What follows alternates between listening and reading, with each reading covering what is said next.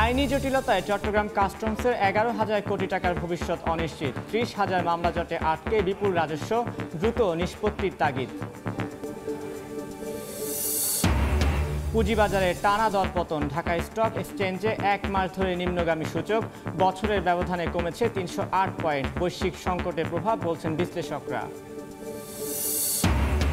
বাংলাদেশে জিডিপি প্রবৃদ্ধি ছ শতাংশ হওয়ার পূর্বাভাস আইএমএফ এর দু হাজার আঠাশ সালের মধ্যে চীন, ভিয়েতনাম ও থাইল্যান্ড থেকেও এগোতে পারে।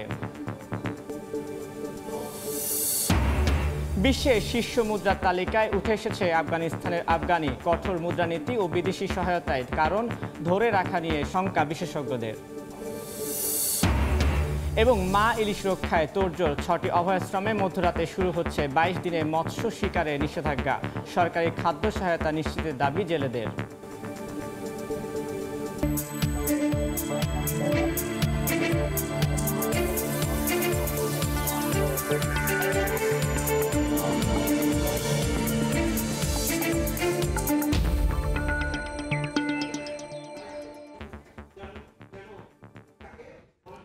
দেখছিলেন শিরোনাম। আমন্ত্রণ জানাচ্ছি দেশ ও দেশের বাইরের অর্থ বাণিজ্যের নানা খবর নিয়ে আমাদের নিয়মিত আয়োজন এই সময়ের বাণিজ্যে।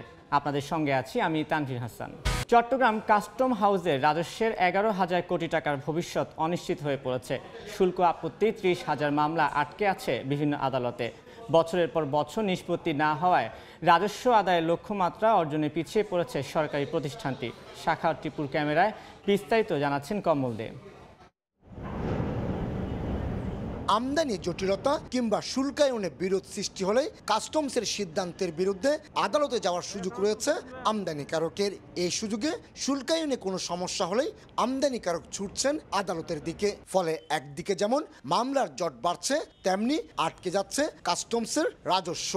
সবশেষ উনত্রিশ হাজার দুশো বিরাশিটি মামলার বিপরীতে চট্টগ্রাম কাস্টম হাউসের রাজস্ব আটকে আছে দশ হাজার সাতশো নব্বই কোটি টাকা। কাস্টম চাইছে এটার থেকে বেশি করতে, সেই সেই জন্য যদি মামলা থাকে, ওটা চূড়ান্ত আদেশ না হওয়া পর্যন্ত, মামলা নিষ্পত্তি না হওয়া পর্যন্ত এটা শুল্কায়ন করতে পারে না। দু হাজার বারো সাল থেকে বিকল্প বিরোধ নিষ্পত্তি অ্যাডিয়ার পদ্ধতি চালু হলো তা কাঙ্ক্ষিত গতি পায়নি। এই এগারো বছরে আমদানিকারক এবং কাস্টম যৌথ প্রচেষ্টায় মাত্র কয়েকশো মামলা নিষ্পত্তি হয়েছে। না, আদালতের দ্বারস্থ হতে হলে আপনাকে তারও আগে কিংবা তারও এতদিনের মধ্যে নিষ্পত্তি করতে হবে। এরকম যদি সরকারের একটা সুনির্দিষ্ট নীতিমালা থাকে এবং তার আগে যে প্রক্রিয়াগুলো আছে যেটা বললাম যে একটা আরবিট্রেশন কমিটির মাধ্যমে সেটি যদি নিষ্পন্ন করা যায় তাহলে কিন্তু আমাদের অনেকগুলো বিষয় কিন্তু আপনার দ্রুত সমাধান হওয়ার একটা সম্ভাবনা আছে। তবে এককভাবে শুধুমাত্র উচ্চ আদালতেই সিদ্ধান্তের অপেক্ষায় আছে চট্টগ্রাম কাস্টম হাউসের নয় হাজার তিনশো আটত্রিশটি মামলা। এসব মামলা থেকে রাজস্ব আদায় স্থগিত রয়েছে আড়াই হাজার কোটি টাকার বেশি। কোনো মামলার যখন জাজমেন্ট হয় সেটা যাতে আমরা সাথে সাথে দেখতে পাই সেটা গভর্নমেন্টের পক্ষে না বিপক্ষে। যদি পক্ষে হয় তাহলে সেক্ষেত্রে উক্ত রাজস্ব আদায়ের কার্যক্রম গ্রহণ করা হয় এবং কোনো মামলা যদি গভর্নমেন্টের বিপক্ষে হয় তাহলে দ্রুত যাতে উচ্চতর আদালতে আমরা অ্যাপিল করতে পারি সেই বিষয়টিও আমরা উদ্যোগ গ্রহণ করা হয়েছে। বছরে চট্টগ্রাম কাস্টম হাউস, চট্টগ্রাম বন্দর দিয়ে আমদানি করা পণ্য থেকে ষাট হাজার কোটি টাকার বেশি রাজস্ব আদায় করে। মামলা সংক্রান্ত জটিলতায় আটকে আছে হাজার হাজার কোটি টাকা। আবার এই টাকার বিপরীতে পণ্য আটকে আছে চট্টগ্রাম বন্দরে। মামলাগুলো দ্রুত নিষ্পত্তি হলে রাজস্ব আদায়ের লক্ষ্যমাত্রা অর্জনে বড় ধরনের ভূমিকা রাখবে, এমনটি বলছেন কাস্টম কর্মকর্তারা। চট্টগ্রাম কাস্টম হাউস থেকে কমল দে, সময় সংবাদ। দেশের পুঁজিবাজারে টানা দরপতন দেখা দিয়েছে। ঢাকা স্টক এক্সচেঞ্জে এক মাস ধরে নিম্নগামী সূচক। বছরের ব্যবধানে কমেছে তিনশো আট পয়েন্ট। এই মুহূর্তে ঢাকা স্টক এক্সচেঞ্জে আছেন সহকর্মী আলতাফ হোসাইন। সরাসরি চলে যাচ্ছি তার কাছে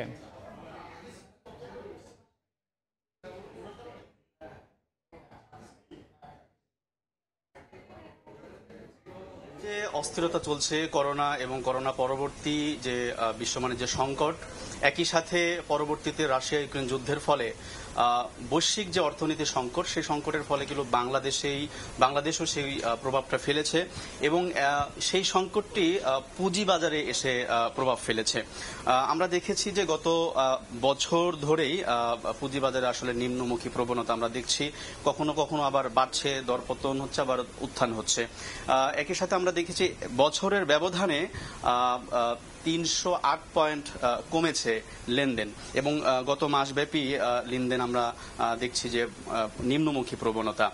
এই মুহূর্তে আমি ঢাকা স্টক এক্সচেঞ্জের আদি বিল্ডিং অবস্থান করছি এবং সেখানে আমরা দেখছি আজকের লেনদেনের যে পরিস্থিতি গত মঙ্গলবার যেটি আমরা দেখেছিলাম, একটু দর উত্থান হয়েছিল, কিন্তু আজকে দেখছি কিছুটা আবারও নিম্নমুখী প্রবণতা এবং এই মুহূর্তে আমরা দেখছি একশো একশো একশো সতেরো কোটি টাকার লেনদেন এখন পর্যন্ত হয়েছে এবং এটি ক্রমান্বয়ে বাড়ছে। আরও বেশ কিছু দিন শেষে হয়তো পাঁচশো কোটি টাকার পর্যন্ত উঠতে পারে।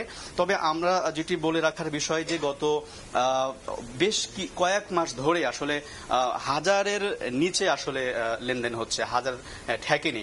তো এই বিষয়ের, তার কারণে আসলে বিনিয়োগকারীরা অস্বস্তির মধ্যে আছে এবং তারা বলছে যে আসলে নানা সংকট, বৈশ্বিক বাণিজ্যে এই সংকটের ফলেই এই অস্থিরতার সৃষ্টি হয়েছে। এতক্ষণ সরাসরি যুক্ত ছিলাম ঢাকা স্টক এক্সচেঞ্জে। চলতি বছর ও আগামী বছরের জন্য বাংলাদেশের জিডিপি প্রবৃদ্ধি ছ শতাংশ হওয়ার পূর্বাভাস দিয়েছে আন্তর্জাতিক মুদ্রা তহবিল আইএমএফ। দু হাজার আঠাশ সালের মধ্যে চীন, ভিয়েতনাম ও থাইল্যান্ডের মতো এশিয়ার শক্তিশালী অর্থনীতির দেশগুলোর থেকে জিডিপি প্রবৃদ্ধির হারে এগুতে পারে বাংলাদেশ। মঙ্গলবার ওয়ার্ল্ড ইকোনমিক আউটলুকে বিশ্বের অন্যান্য দেশগুলোর পাশাপাশি বাংলাদেশের জিডিপি প্রবৃদ্ধির ব্যাপারে নিজেদের পূর্বাভাস প্রকাশ করেছে আইএমএফ। এতে বাংলাদেশের প্রবৃদ্ধি ছয় শতাংশ হতে পারে বলে ধারণা দেওয়া হয়েছে। যদিও গত এপ্রিলে বাংলাদেশের চলতি বছরের প্রবৃদ্ধি পাঁচ দশমিক পাঁচ শতাংশ হওয়ার পূর্বাভাস দেওয়া হয়েছিল। তবে দুই হাজার চব্বিশ সালে প্রবৃদ্ধি সাড়ে ছয় শতাংশের ধারণা দিলেও তা ছয় শতাংশে নেমে আসার পূর্বাভাস দিয়েছে আইএমএফ। এদিকে সামগ্রিকভাবে ইমার্জিং অ্যান্ড ডেভেলপিং এশিয়া ক্যাটাগরিতে থাকা দেশগুলোর মধ্যে বাংলাদেশের জিডিপি প্রবৃদ্ধির সম্ভাবনা সূচক বেশ শক্তিশালী। এই ক্যাটাগরিতে দুই হাজার তেইশ সালের জন্য গড় প্রবৃদ্ধির পূর্বাভাস দেওয়া হয়েছে পাঁচ দশমিক দুই শতাংশ, দুই হাজার চব্বিশ সালের জন্য চার দশমিক আট শতাংশ এবং দুই হাজার আঠাশ সালের ক্ষেত্রে চার দশমিক পাঁচ শতাংশ। এই ক্যাটাগরিতে বৃহৎ অর্থনীতির দেশগুলোর মধ্যে বাংলাদেশ থেকে এগিয়ে রয়েছে শুধু ভারত। দুই হাজার আঠাশ সালে ভারতের জন্য জিডিপি প্রবৃদ্ধির পূর্বাভাস দেওয়া হয়েছে ছয় দশমিক তিন শতাংশ, যেখানে বাংলাদেশের ক্ষেত্রে পূর্বাভাস দেওয়া হয়েছে সাত শতাংশ। ভারত ছাড়াও চীন, ইন্দোনেশিয়া, মালয়েশিয়া, ফিলিপাইন, থাইল্যান্ড ও ভিয়েতনামের মতো তুলনামূলক শক্তিশালী অর্থনীতির দেশগুলোর থেকেও এগিয়ে রয়েছে বাংলাদেশ। বাংলাদেশের বাড়লেও বৈশ্বিক প্রবৃদ্ধি হ্রাসের পূর্বাভাস দিয়েছে আইএমএফ। দুই হাজার বাইশ সালের বৈশ্বিক প্রবৃদ্ধি তিন দশমিক পাঁচ শতাংশ থেকে হ্রাস পেয়ে দুই হাজার তেইশে তিন শতাংশে নেমে আসার পূর্বাভাস দেওয়া হয়েছে। দুই হাজার চব্বিশ সালে যা আরও কমে দাঁড়াতে পারে দুই দশমিক নয় শতাংশে। গত এপ্রিলে বিশ্বব্যাংক চলতি অর্থ বছরের জন্য বাংলাদেশে পাঁচ দশমিক ছয় শতাংশ প্রবৃদ্ধির কথা বলেছিল। অবশ্য সরকার লক্ষ্যমাত্রা নির্ধারণ করেছে সাড়ে সাত শতাংশ। এদিকে আইএমএফ এর প্রতিবেদনে দুই হাজার বাইশ তেইশ অর্থ বছরে বাংলাদেশের মূল্যস্ফীতির হার নয় শতাংশ উল্লেখ করে দুই হাজার তেইশ চব্বিশ অর্থ বছরে তা সাত দশমিক নয় শতাংশে নেমে আসার পূর্বাভাস দেওয়া হয়েছে। পাশাপাশি দুই হাজার আঠাশ সালে তা পাঁচ দশমিক পাঁচ শতাংশে হ্রাস পাওয়ার পূর্বাভাস দেওয়া হয়েছে। ফরহাদুর রহমান সময় সংবাদ। তেরো অক্টোবর ষষ্ঠ বাংলাদেশ মার্কেটিং ডেতে উদযাপন করতে যাচ্ছে মার্কেটার্স ইনস্টিটিউট অফ বাংলাদেশ। এ বিষয়ে কথা বলতে স্টুডিওতে আছেন প্রতিষ্ঠানটির জয়েন্ট কনভেনার ও মেঘনা গ্রুপ অফ ইন্ডাস্ট্রিজের এফ এমজিসি ডিভিশনের সিইও সৈয়দ আলমগীর। সৈয়দ আলমগীর আপনাকে স্বাগত জানাচ্ছি। ধন্যবাদ আপনাকে। শুরুতেই আমরা একটু জানতে চাচ্ছিলাম যে আপনাদের প্রতিষ্ঠানের যে লক্ষ্য উদ্দেশ্য কি তা যদি একটু বলতেন আমাদেরকে। হ্যাঁ মার্কেটিং ইনস্টিটিউট অফ বাংলাদেশ আজ থেকে প্রায় ছয় বছর আগে সংগঠিত হয়।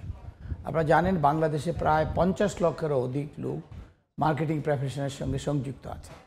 তাদের কোনো একটা প্ল্যাটফর্ম ছিল না। সেই প্ল্যাটফর্মটাকে আমরা একটা প্ল্যাটফর্ম হিসেবে দাঁড়া করিয়েছি, একটা ইনস্টিটিউট দাঁড়া করিয়েছি, যেটার কনভেনার হলো জগন্নাথ বিশ্ববিদ্যালয়ের প্রাক্তন উপাচার্য এবং ঢাকা বিশ্ববিদ্যালয়ের বর্তমান শিক্ষক ডক্টর মিজানুর রহমান। এবং আমরা, আমি এবং ডক্টর ফারহাত আনোয়ার এবং আরও একজন আছেন আমরা হলাম জয়েন্ট কনভেনার। এটা প্রতি বছরই আমরা অক্টোবর মাসের দিকে উদযাপিত করে থাকি। এবারে বছর মার্কেটিং ডে উদযাপিত হবে আগামী শুক্রবার, তেরোই অক্টোবর। সেখানে সারা দেশব্যাপী এটা হবে। ঢাকাতে ঢাকা বিশ্ববিদ্যালয়ের টিএসসিতে ফর্মাল অনুষ্ঠান হবে। তাছাড়াও বিভিন্ন অনুষ্ঠান, বিভিন্ন প্রতিষ্ঠানে যেখানে মার্কেটিংয়ের লোকজন কর্মরত আছেন, তারা সেখানে কেক কাটবেন, সেলিব্রেট করবেন এবং বাংলাদেশে প্রায় বড় বড় অর্গানাইজেশন সব জায়গায় এই অনুষ্ঠানটা হবে। তাছাড়াও বিভিন্ন শিক্ষা প্রতিষ্ঠান যেখানে মার্কেটিং পড়ানো হয়, সেখানেও কিন্তু এই অনুষ্ঠানটা ছেলেরা করবে, যেমন রাজশাহী বিশ্ববিদ্যালয়, চট্টগ্রাম বিশ্ববিদ্যালয়, বিভিন্ন বিশ্ববিদ্যালয় মার্কেটিং বিভাগের লোকজন এটা উজ্জীবিত করবে উদযাপিত করবে। কারণ তারা তারা স্মরণ করবে যে এটা মার্কেটিং একটা খুব ইম্পর্ট্যান্ট সাবজেক্ট আপনি জানেন, মার্কেটিং একটা ব্যবসার অনেক একটা ইম্পর্ট্যান্ট আমি বলি এটা heart of market heart of a business marketing যদি সাকসেসফুল হয়, আপনার বিক্রয় ভালো হবে। বিক্রয় ভালো হলে আপনার ফিনান্স ডিপার্টমেন্ট লাগবে অ্যাকাউন্টস লাগবে অডিট লাগবে, আপনার বিক্রয় ভালো হলে আপনার প্রোডাকশন ভালো লাগবে। কাজে সব কিছু কিন্তু শুরু হয় মার্কেটিং থেকে। এই জন্য আমরা মার্কেটিংটাকে যাতে সুন্দর করে করি, একে অন্যের সঙ্গে মত বিনিময় করতে পারি এবং আমরা বিভিন্ন অনুষ্ঠানের মাধ্যমে আমরা এটা আমাদের বিভিন্ন যে প্রোগ্রামগুলো আছে, সেই প্রোগ্রাম দিয়ে মার্কেটিং এ কী কী করা যায়, নতুনত্ব কী আনা যায়, সেগুলি কিন্তু আমরা করার প্রচেষ্টা করি। আচ্ছা আপনি মানে ব্যবসার ক্ষেত্রে হালাল শব্দটি ব্যবহার করেছেন কৌশলগতভাবে আর কি। তো আন্তর্জাতিক ব্যবসার ক্ষেত্রে হালাল মার্কেটিং সম্পর্কে যদি কিছু একটু বলতেন বা আপনার উদ্দেশ্যটি একটু বলতেন। হালাল, ইয়া, বা হালাল শব্দটা আগেই ছিল কারণ হালাল হারাম part of life of a Muslim কিন্তু আমি এটাকে কমার্শিয়ালাইজেশনে এনেছি by first time by introducing hundred percent halal soap কিন্তু এখন এটা সারা বিশ্বে ছড়িয়ে গেছে। যেমন ধরেন মালয়েশিয়া হোক, আরও যেসব গালফ কান্ট্রিগুলো আছে, আরব কান্ট্রিগুলো, সেখানে কোনো খাদ্যের উপরে যদি না লেখা থাকে হান্ড্রেড পার্সেন্ট হালাল। সেই খাদ্য তারা সে দেশে আমদানি করতে দেয় না এবং তারা ওই দেশে বাজারজাত করতে দেয় না। তো এইখানে একটা বিরাট মার্কেট হয়েছে হান্ড্রেড পার্সেন্ট হালাল খাদ্য। ইভেন আপনি জাপানে যান ইংল্যান্ড আমেরিকায় যান, বিভিন্ন জায়গায় যেখানে লোকজন কনসার্ন অ্যাবাউট হালাল, সেখানে কিন্তু হালাল ফুডের মধ্যে হালাল এবং নন হালাল ফুড কিন্তু ডিমার্কেটেড করা আছে, যেটা সে খেতে পারবে খেতে পারবে না। এটা গেল একটা। আপনি রিসেন্টলি বাংলাদেশ, মালয়েশিয়া একটা চেম্বারের একটা মিটিং হলো। সেখানে কিন্তু খুব মালয়েশিয়া রাষ্ট্রদূত ছিলেন, ও সবাই ছিলেন। সেখানে বলা হলো যে এখন এই আগামী এক বছরের মধ্যে দু হাজার চব্বিশ সনে থ্রি পয়েন্ট টু ট্রিলিয়ন ডলারের মার্কেট আছে। কি মার্কেট হালাল খাদ্য, হালাল ফান্ডিং যেটা সুদবিহীন। তারপরে আপনার আছে হালাল পোশাক, যে আমাদের মেয়েরা পরে। সেই তারপরে আছে আপনার হালাল এভিয়েশন হাবা, হালাল ট্যুরিজম এগুলো দিন দিন আরও বেশি বড় হচ্ছে। কারণ আপনি জানেন মুসলমানরা, মুসলমানদের জন্য হালাল এবং হারাম খুবই একটা important matter it has been already it has even come to holy Quran আমাদের নির্দেশনা আছে। হারামকে হারামকে বর্জন করো। হ্যাঁ হালালকে হালালকে গ্রহণ করো হারামকে বর্জন করো।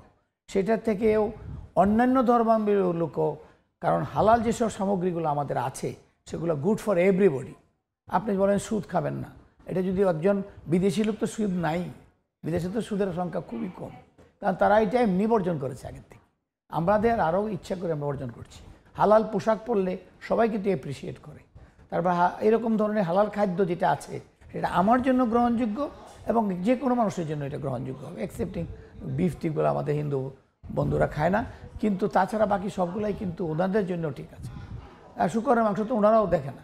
আমরা যদি পছন্দ করি না, আমরাও হারাম বলি, এটা কিন্তু অন্য যে কোনো আমাদের হিন্দু বন্ধুদের নেই এরকম অনেক কিছু আছে যেটা দিয়ে আপনাকে কনসার্ন করে এটার এটার ব্যক্তি অনেক বড় এবং it is said in twenty thirty the business will be 7 trillion dollar on halal. So it has now gone like this. It came to from Bangladesh but এই একটা জায়গায় আমরা গর্ববোধ করতে পারি জানাব সৈয়দ আলমগীর আপনাকে অসংখ্য ধন্যবাদ। ধন্যবাদ আপনাকে মধ্যরাত থেকে শুরু হচ্ছে মাছ শিকারে বাইশ দিনের নিষেধাজ্ঞা তাই শেষ দিনের মতো মাছ শিকারে ব্যস্ত জেলেরা। এ বিষয়ে বিস্তারিত জানাতে পটুয়াখালীর কোরালিয়া জেলে পল্লী থেকে সরাসরি যুক্ত হচ্ছেন রিপোর্টার শিকদার জাবির হোসেন।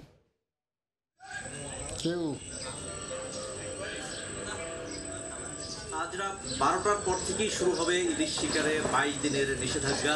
এই নিষেধাজ্ঞা চলবে দুই নভেম্বর পর্যন্ত। আপনারা জানেন যে পটুয়াখালীর উপকূলে এই অঞ্চলে জেলের সংখ্যা বেশি। পটুয়াখালী জেলায় প্রায় দেড় লাখ জেলে রয়েছে। এই অঞ্চলের যে জেলেপল্লিগুলো রয়েছে, সেই জেলেপল্লিগুলোতে এখন হারাকাত চলছে এবং তারা চরম দুশ্চিন্তায় রয়েছেন। এর কারণ হলো জেলেরা আমাদেরকে জানিয়েছেন যে আসলে এই যে বাইশ দিনের নিষেধাজ্ঞা নিষেধাজ্ঞা চলাকালে তারা সম্পূর্ণ কর্মসূচি থাকবে। যেহেতু সমুদ্র এবং নদী জায়গাতেই মাছ শিকার নিষিদ্ধ থাকবে। এ কারণে সকল বেকার থাকতে হবে। বেকার এই সময়গুলোতে মৎস্যজীবী এই পেশার সাথে যারা জড়িত রয়েছে তাদের দিন কীভাবে কাটবে তারা তাদের সন্তান পরিবার কীভাবে চলবে এই নিষেধাজ্ঞা যাওয়ার পরে যে আড়াই মাস গেল এই আড়াই মাসের মধ্যে বৈরী আবহাওয়ার কারণে ভালো এক মাসও তারা মাছ শিকার করতে পারেনি, যার কারণে কিন্তু তাদের পরিবার পরিজন নিয়ে চরম দুর্বিষহ দিন কাটাতে হয়েছে। সেই সাথে দাদনের যে ঋণের বোঝা, সেই ঋণের বোঝা নিয়েও কিন্তু তাদের চরম ভোগান্তিতে পড়তে হয়েছে। কারণ দাদনের মহাজনের যে ঋণ, সেই ঋণের জন্য জেলেদেরকে চাপ দিচ্ছে। জেলেরা সেই ঋণের টাকা পরিশোধ করতে না পারে তারা কিন্তু বিপর্যস্ত। তো এই অবস্থায় পটুয়াখালীর উপকূলের জেলে পল্লীগুলোতে কিন্তু হাহাকার চলছে এবং জেলেরা আমাদেরকে জানিয়েছেন যে নিষেধাজ্ঞাকালে সরকার যে খাদ্য সহায়তা দিয়ে থাকে, সেই খাদ্য সহায়তা কিন্তু পর্যাপ্ত নয়। পঁচিশ কেজি করে চাল দেওয়া হয়। এই পঁচিশ কেজি চাল দিয়ে আসলে জেলেদের সংসারে ব্যয়বার বহন করা সম্ভব না। আর এর মধ্যে আবার আছে, এই পঁচিশ কেজি চাল সকল জেলে পায় না। কিছু সংখ্যক জেলে পায়, আবার কিছু সংখ্যক জেলে পায় না। আর বিশেষ করে মৎস্য বিভাগের সাথে আমরা কথা বলেছি মৎস্য বিভাগ আমাদেরকে জানিয়েছেন যে কার্ডধারী প্রত্যেক জেলেকে পঁচিশ কেজি করে চাল দেওয়া হবে। কিন্তু কার্ডধারীর বাইরেও কিন্তু জেলের সংখ্যা আছে। আপনি জানেন যে পটুয়াখালী জেলায় চুরাশি হাজার নিবন্ধিত জেলে রয়েছে। এর বাইরেও প্রায় অর্ধ লাখ জেলে মাছ শিকার করে জীবিকা নির্বাহ করেন, যাদের জীবিকার প্রধান উৎস এই যে মাছ। তো সেক্ষেত্রে এই যে অর্ধ লাখ জেলে, এই অর্ধ লাখ জেলে কিন্তু সরকারের সকল সুযোগ সুবিধা থেকে বঞ্চিত হচ্ছেন। এই নিষেধাজ্ঞা চলাকালে তারা কি খাবেন, কি খেয়ে বাঁচবেন, তা নিয়ে কিন্তু তারা চরম ভাবে চিন্তিত, চরম ভাবে হতাশাগ্রস্ত। আর শুধু জেলেরা নয়, এই মৎস্য পেশার সাথে মৎস্য মালিক ব্যবসায়ী সহ অনেকেই জড়িত রয়েছেন। তাদের সকলেরই কিন্তু এই অবস্থা। তারা কিন্তু এবছর মাছ ঠিকভাবে ধরতে না পারার কারণে এই পেশার সাথে জড়িত সকলেই কিন্তু বিপর্যস্ত বলা যায়। মৎস্যজীবী মালিক সমিতির পক্ষ থেকে গত কয়েকদিন ধরে আপনারা জানেন যে, তারা দাবি জানিয়ে আসছিল যে নিষেধাজ্ঞার যে সময়কাল, এই সময়কে পিছিয়ে দেওয়ার জন্য, যে নিষেধাজ্ঞা যাতে পিছিয়ে দেওয়া হয়, অর্থাৎ বারো অক্টোবরের পরিবর্তে তিরিশ অক্টোবর যাতে নিষেধাজ্ঞা দেওয়া হয়, এই যে সময়টা, এই সময়টা যদি জেলেরা পায়, তাহলে মাছ শিকার করে তারা জীবিকা নির্বাহ করতে পারবে এবং তারা না করতে পারবে। কিন্তু তাদের জায়গায় অটল রয়েছে, তারা কিন্তু আগামীকাল থেকে কিন্তু নিষেধাজ্ঞা কার্যকর হচ্ছে তো সেক্ষেত্রে আপনার জেলেদের মধ্যে কিন্তু একটা হতাশা রয়েই গেছে। কারণ তারা বলছেন যে আসলে এই নিষেধাজ্ঞার তারা কি খাবে, কি কীভাবে বহন করবেন? আর সরকার এই চালটা হয়, শেষের দিকে এই চালটা আসলে কোনো কাজে আসবে না তাই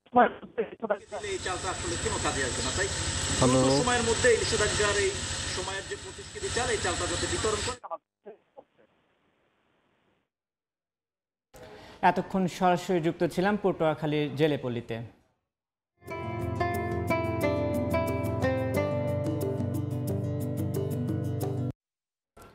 স্বাধীনতার বান্ন বছরের অর্জনে গর্জনে সোনার বাংলা আজ বিশ্বের বিস্ময়। ছুটে চলেছে উন্নয়নের অপ্রতিরোধ গতিতে। দেশের মানুষের প্রত্যাশা একটি বৈষম্যহীন দেশ গড়ে তোলা। ব্রহ্মপুত্র নদীর তীর ঘেঁষা ময়মনসিংহের সাধারণ মানুষেরও চাওয়া, আগামীর বাংলাদেশ হবে স্মার্ট বাংলাদেশ।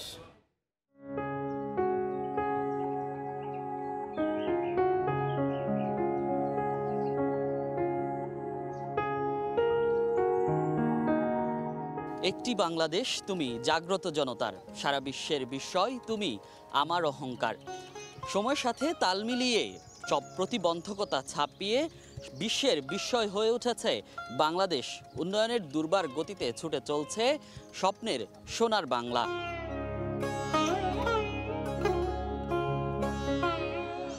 কেমন বাংলাদেশ দেখতে চান ভবিষ্যতে? ভবিষ্যৎ তো আমরা ভালোই দেখতেছি। দেশের উন্নয়ন পরিষ্কার পরিচ্ছন্নতা দরকার।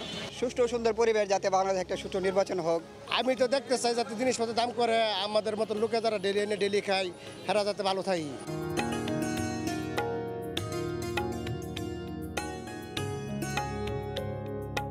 আমি একটি স্মার্ট বাংলাদেশ চাই, যেখানে বৈষম্য থাকবে না যেখানে সকল সম্প্রদায়ের অধিকার থাকবে, অসাম্প্রদায়িক একটি বাংলাদেশ হবে, মানুষ কর্ম করতে পারবে, দুর্নীতি থাকবে না।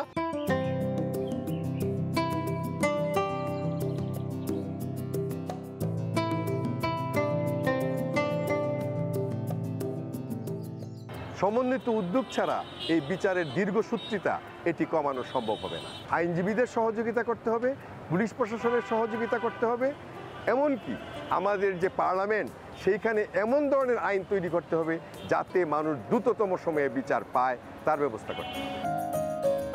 অনেক বাধা পেরিয়ে দেশ এগিয়েছে বহুদূর। এখনও উন্নত বিশ্বের সাথে পাল্লা দিয়ে চলছে এগিয়ে যাওয়ার লড়াই। উন্নয়নের অগ্রযাত্রার ছুটে চলা পথ আরও সুগম হোক। মালয়েশিয়ায় অবৈধ শ্রমিকদের বৈধতার বিষয়ে দেশটির সরকার সর্বোচ্চ গুরুত্ব দিয়ে কাজ করছে। গুরুত্ব দেওয়া হচ্ছে শিক্ষা ও পর্যটন খাতে। পরিকল্পনা মন্ত্রীর সঙ্গে সৌজন্য সাক্ষাৎ করে কথা জানিয়েছেন ঢাকায় নিযুক্ত দেশটির হাইকমিশনার হাজনা মোহাম্মদ হাসিম পরিকল্পনা মন্ত্রী বলেন বাংলাদেশের জন্য মালয়েশিয়ার উন্নয়ন শিক্ষণীয়। এ শতাব্দীতে দক্ষিণ এশিয়ার উন্নত দেশগুলোতে ভ্রমণ তালিকার শীর্ষ তিনের মধ্যে একটি মালয়েশিয়া। দেশটিতে পর্যটন ও শিক্ষায় গুরুত্ব দিয়ে অবকাঠামো উন্নয়নে কর্মসংস্থানের সুযোগ হয়েছে কয়েক লাখ শ্রমিকের। এর মধ্যে বাংলাদেশি বৈধ শ্রমিকের পাশাপাশি অবৈধ শ্রমিক দুই লাখেরও বেশি। নতুন করে এসব শ্রমিকের বৈধতা দিতে লেবার রিক্যালিব্রেশন প্রোগ্রাম চালু রেখেছে মালয় সরকার। মঙ্গলবার পরিকল্পনা মন্ত্রণালয়ে আসেন বাংলাদেশে নিযুক্ত দেশটির হাইকমিশনার হাজনা মোহাম্মদ হাসিম পর্যটন শিক্ষাসহ বিভিন্ন বিষয়ে কথা বলেন মন্ত্রীর সঙ্গে। গণমাধ্যমকে জানান, বাংলাদেশি শ্রমিকদের বৈধতায় সর্বোচ্চ পর্যায়ে আলোচনা চলছে। হার্ডওয়ার্কিং বাংলাদেশি মালয়েশিয়ার উন্নয়নে অন্যতম অবদান রয়েছে বাংলাদেশি শ্রমিকদের। ওয়ার্ক পারমিট নিয়ে দুদেশের সংশ্লিষ্ট মন্ত্রণালয় কাজ করছে। মালয়েশিয়া সরকারের অগ্রাধিকারমূলক কর্মসূচির তালিকায় প্রথমে রয়েছে শ্রমিকদের বিষয়টি। এ সময় পরিকল্পনা মন্ত্রী বলেন বহুজাতিক সংস্কৃতি ও ভাষাভাষীর দেশ এবং উন্নয়নে মালয়েশিয়া বাংলাদেশের জন্য role model Malaysia can be a role model. Malaysia ধর্মীয় সম্প্রীতি বহু ভাষাভাষীর বসবাসের এক শান্তিপূর্ণ দেশ। উন্নয়নে বাংলাদেশের জন্য রোল মডেল মালয়েশিয়া। আমরা তাদের শ্রমিক দিয়ে সহযোগিতা অব্যাহত রাখব। এতে দুদেশই লাভবান হবে. চট্টগ্রামের মিরসরাইয়ে সাইকেল কারখানার মতো বাংলাদেশে মালয়েশিয়ার বিনিয়োগ আরও বৃদ্ধির কথাও জানান হাই কমিশনার. কাজল আবদুল্লাহ সময় সংবাদ ঢাকা। বৈরী আবহাওয়া আর ক্ষতিকারক ব্যাকটেরিয়ায় নওগাঁয় শীতের আগাম সবজিতে ফলন বিপর্যয় দেখা দিয়েছে। টাকা খরচ করে ক্ষেত থেকে ফলন না পাওয়ায় দিশেহারা চাষিরা। ফসল রক্ষায় বিভিন্ন বালাইনাশক প্রয়োগ করেও কোনো ফল পাচ্ছেন না। ফলন বিপর্যয় এই অবস্থাকে সুযোগ হিসেবে কাজে লাগিয়েছে নাম সর্বস্ব কিছু কীটনাশক কোম্পানি। এতে প্রতারিত হচ্ছেন চাষিরা। এই অবস্থায় চাষিদের উদ্বিগ্ন হয়ে যেন তেন কোম্পানির বালাইনাশক প্রয়োগ না করায় পরামর্শ কৃষি বিভাগের। গুলশানে বিএনপি চেয়ারপারসন কার্যালয়ে কথা বলছেন দলটির মহাসচিব মির্জা ফখরুল ইসলাম আলমগীর। সরাসরি যাচ্ছি সেখানে। জানেন যে এর মধ্যে আমাদের দলের প্রায় বাইশ জন নেতা কর্মীকে রাস্তায় ডেমনস্ট্রেশন র্যালি চলা অবস্থায় তাদেরকে গুলি করে হত্যা করা হয়েছে। আমাদের অনেক সাথী শহীদ হয়েছেন। এবার তাদের সীমাহীন আত্মত্যাগের বিনিময়ে ফ্যাসিবাদের পতন নিশ্চিত করে গণতন্ত্রের জয়যাত্রা নিশ্চিত করার লড়াইয়ে দেশের সংগ্রামী জনগণ অবশ্যই বিজয়ী হবে। বিএনপি সেই বিজয়ের লড়াইয়ে সম্পৃক্ত হওয়ার জন্য দেশবাসীর প্রতি আহ্বান জানাচ্ছে। আপনাদের সবাইকে ধন্যবাদ। আল্লাহ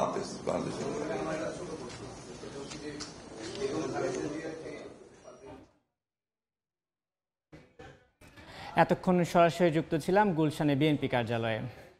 এ পর্যায়ে শীর্ষ সংবাদগুলো জানিয়ে দিচ্ছি আরেকবার। আইনি জটিলতায় চট্টগ্রাম কাস্টমসের এগারো হাজার কোটি টাকার ভবিষ্যৎ অনিশ্চিত। ত্রিশ হাজার মামলা জটে আটকে বিপুল রাজস্ব, দ্রুত নিষ্পত্তির তাগিদ। পুঁজিবাজারে টানা দরপতন। ঢাকা স্টক এক্সচেঞ্জে এক মাস ধরে নিম্নগামী সূচক।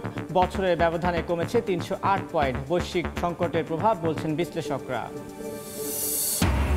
এবং মা ইলিশ রক্ষায় তোড়জোড়। ছটি অভয়াশ্রমে মধ্যরাতে শুরু হচ্ছে বাইশ দিনের মৎস্য শিকারের নিষেধাজ্ঞা। সরকারি খাদ্য সহায়তা নিশ্চিতের দাবি জেলেদের।